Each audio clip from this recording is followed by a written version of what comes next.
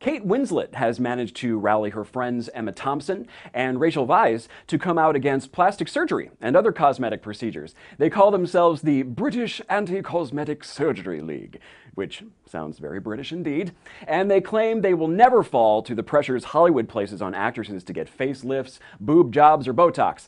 52-year-old Emma Thompson has been quoted as saying, I'm not fiddling about with myself. We're in this awful youth driven thing now where everybody needs to look 30 at 60.